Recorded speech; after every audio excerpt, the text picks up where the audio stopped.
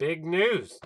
The Eternals will feature the MCU's first openly happy lead character. Gay still means happy, right? All right, let's get into this. Uh, once Captain America, Avengers Endgame, and Spider Man Far From Home are out of the way, Marvel Studios will be looking forward to The Eternals. Oh, shit. Which sounds like it's going to define the future course of the MC. What? With. I thought uh, Brie Larson was supposed to define the future course of the MCU.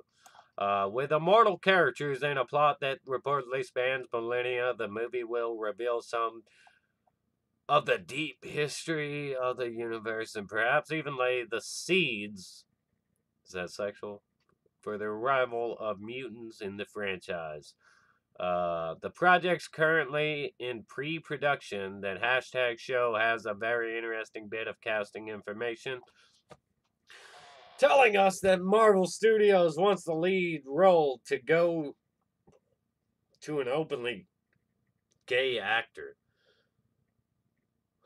Why why actors act did, did you see um no what's his name? What the fuck?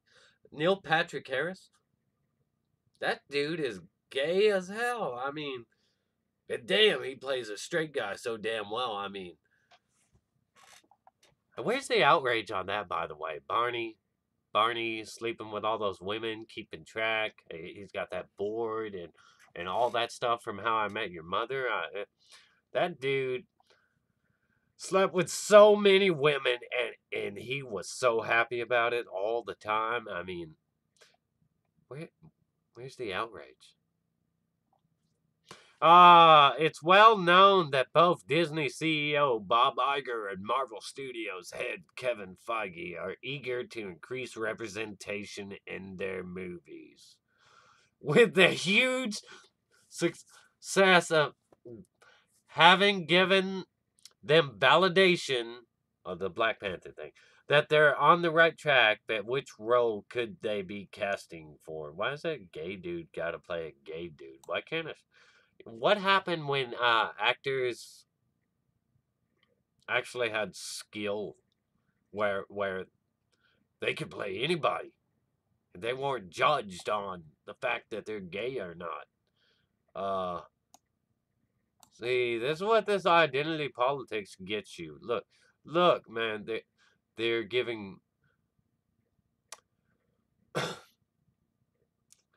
they are going at. You know what? You, if you're a social justice warrior, you won't even understand. So I'm not even gonna.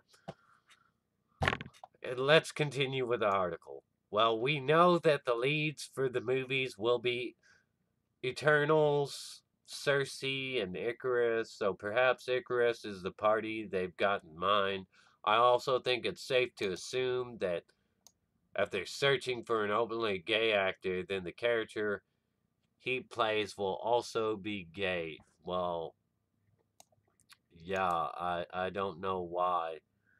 I don't know why they would want to cast a gay guy to play a straight guy unless it's some kind of form of uh torture.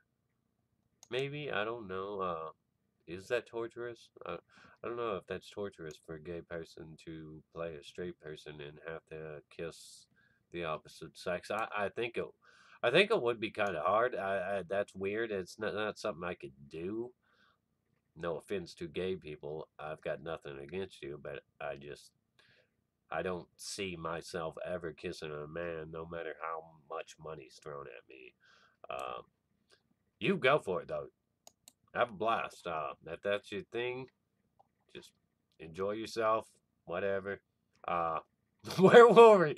Then the characters he plays will also be gay. We've seen numerous complaints about Hollywood casting straight actors as gay actors, so presumably they're planning to nip this criticism in the bud. The Eternals does prove to have a gay hero front and center, then expect your typical outpouring and frontiering outrage from the blah blah blah. Take a look at the ball being tossed in the direction of Captain Marvel and the failed campaign to ruin Black that was there a campaign to ruin Black Panther's box office? Hmm, I don't know why. But Captain Marvel, that's a different story, okay? I wish you people would stop trying to say it has something to do with sexism. It has to do with identity politics, which do nothing but destroy all all progress made. That's what it does. That's what identity politics does.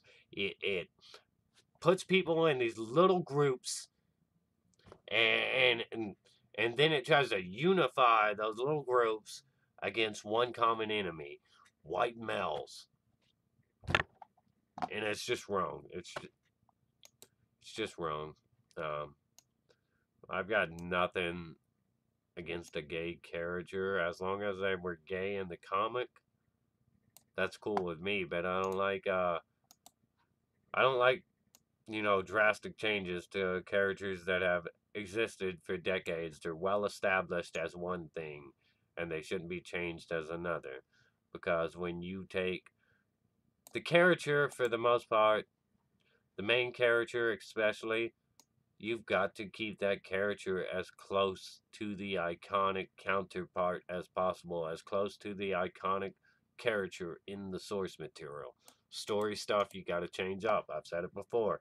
But when you make racial and sexual orientation changes or gender changes to characters that have been well established as one thing, it's just lazy. It's just pandering to a certain kind of audience.